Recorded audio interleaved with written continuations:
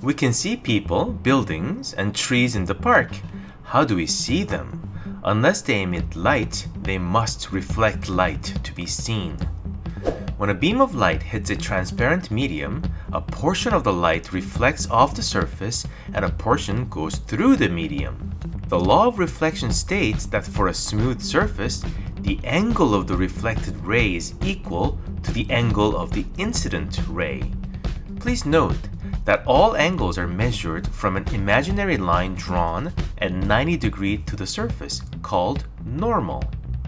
When a beam of light reflects off a smooth surface, it is called specular reflection. The word specular comes from the Latin word speculum, meaning mirror.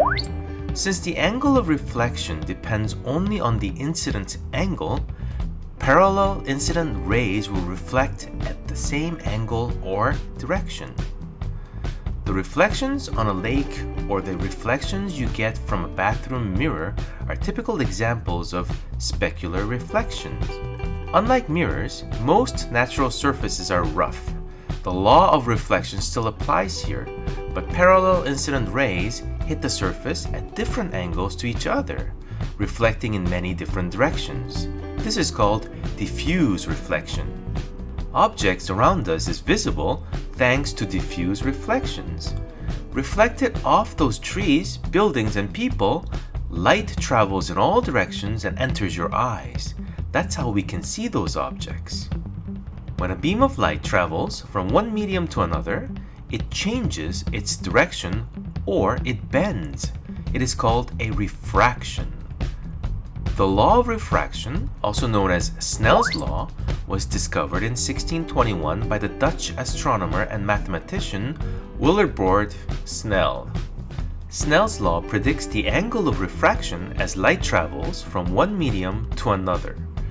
The angle of refraction depends on the incidence angle and the media that the light travels through, represented by an index of refraction. Why does light change direction when passing from one medium to another? Well, this is because light changes speed when going from one material to another.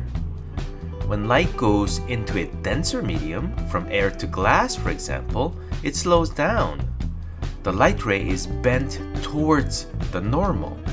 Conversely, when the light ray leaves the glass and enters the air, it speeds up and bent away from the normal. What happens if the light bends so much that the refracted angle becomes 90 degrees or even larger? In that case, no light will be able to travel out of the medium. There is no refraction. Instead, it will be reflected back. It is called total internal reflection. Fiber optic cables make a good use of this property. Beams of light or data are reflected over and over without escaping and emerge at the end of the cable. Where do we find examples of refraction in everyday life? Place a pencil in a cup of water the pencil appears to bend at the water's surface. A rainbow is formed due to water droplets in the atmosphere. Water droplets split the white light from the sun into a beautiful rainbow. Lenses and magnifying glasses are typical examples of refraction of light as well. Even our eyes depend upon the light refraction. Without refraction, we wouldn't be able to focus light onto our retina. Did you know that Isaac Newton was the first person to understand the rainbow? Yes, the famous scientist who was bonked on the head by a falling apple and came up with the law of gravity. In the 1600s, Newton performed a famous experiment, shining sunlight from the window through a prism. Newton created a spectrum of colors on the opposite side of his room. This experiment showed that white light is actually made up of all the colors of the rainbow. Well, that's it for today. If you learned something new today, give this video a like, share it with your friends, and smash that subscribe button. Thanks so much. Bye bye.